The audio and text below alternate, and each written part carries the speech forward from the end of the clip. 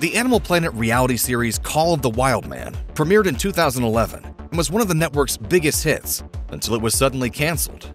But why did it end? That depends on who you ask.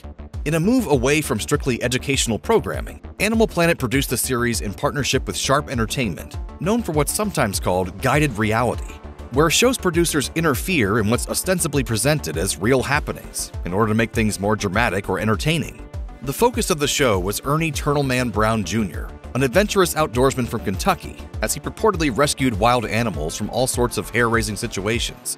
How much of what Turtleman did in the series was real or was staged, though, was called into question on several occasions.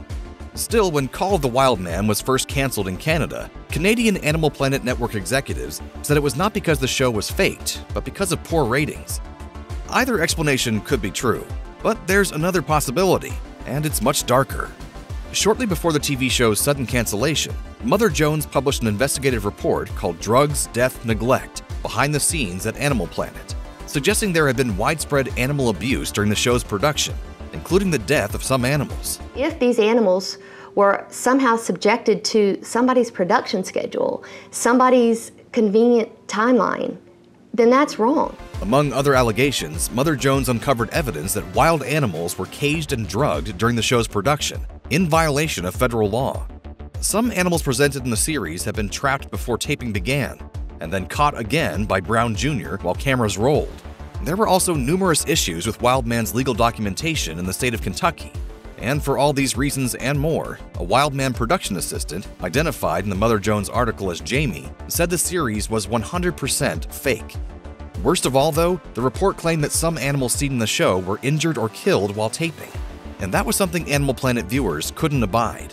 This report came out after season 3, and according to Mother Jones, ratings were strong up until that point. Still, the Canadian version of Animal Planet chose to pull the plug on the series. It turned out they had the right idea. In the US, the show continued for a fourth season, but following the damaging report from Mother Jones, viewers stayed away in droves, and ratings fell to barely half their previous numbers before it was finally canceled for good. In response to the Mother Jones article, the show's production company, Sharp Entertainment, also held an interview with a crisis manager experienced in dealing with similar high profile controversies. In that interview, Dan Adler, a Sharp senior vice president, said, We've always made the humane treatment of animals our top priority.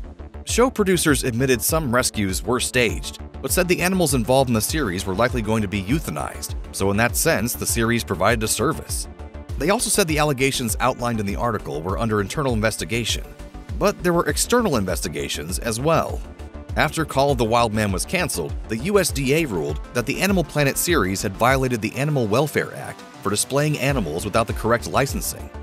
Though some producers on the series were fined as little as $1,800 for the violations, at least one producer was fined a whopping $180,000, among other financial penalties.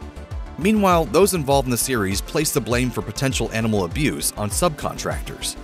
Animal mistreatment aside, in 2015, Brown Jr. and others involved in the production of the show were hit with a lawsuit that alleged trespassing and damage to property during series production. But despite all the fines and accusations, there was never any official statement from American Animal Planet executives regarding the show's abrupt US cancellation. And as for the show's one time star, Ernie Turtleman Brown Jr. has still continued to make live appearances based on the show's popularity, even if events like the Smoky Mountain Bigfoot Festival are a long, long way from the Hollywood spotlight he once thrived in. Still, there's one silver lining. At least with Bigfoot, you know up front that it's going to be faked, and no Yetis will be harmed in the making. I found them! I've seen them! Two Bigfoots!